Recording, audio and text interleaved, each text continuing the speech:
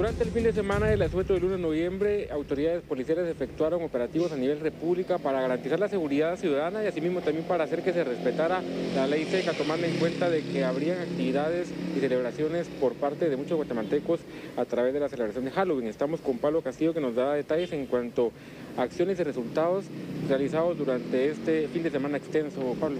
Gracias Carlos, muy buen día.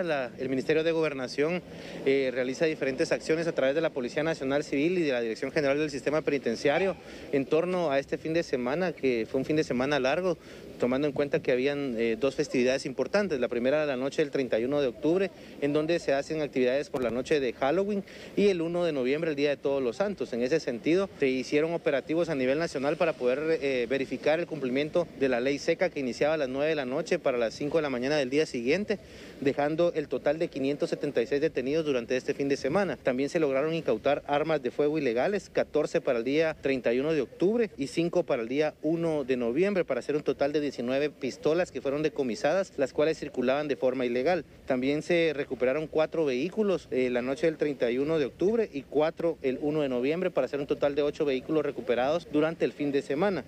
Acciones importantes realizadas por parte de autoridades de seguridad en cuanto al tema operativos efectuados, como se indicaba, por temas del fin de semana extenso, por la celebración del 1 de noviembre y el 31 de octubre, resultados con más de 500 capturas, vehículos recuperados, así mismo como armas de fuego incautadas.